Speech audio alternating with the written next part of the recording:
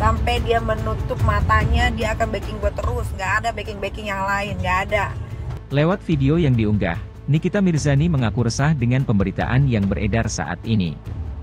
Ia pun mengaku bila selama ini tak mengenal sosok Ferdi Sambo secara pribadi. Kenal juga enggak, ketemu enggak pernah, ujar wanita yang karib disapanya itu. Lebih lanjut, Nikita Mirzani menjelaskan perihal alasannya melaporkan Polres Serang kepada Propam dalam kasusnya dengan Dito Mahendra. kalau waktu itu gue mengadukan kasus gue ya polisi Serang ke Propam memang harus ke Propam. Karena polisi untuk dilaporin itu memang ke Propam. Dan gue sebagai warga negara Indonesia yang tidak dapat keadilan itu minta keadilan ya ke mana? Ya ke Propam Diakui Nikita, laporan tersebut dilakukan bukan karena sosok Ferdi Sambo.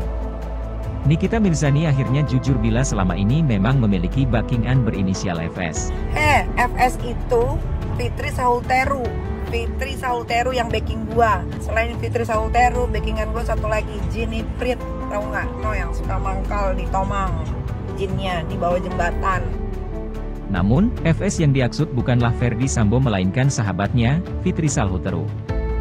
Diakui Nikita, hanya Fitri Salhuteru seorang yang melindunginya saat tertimpa masalah hukum.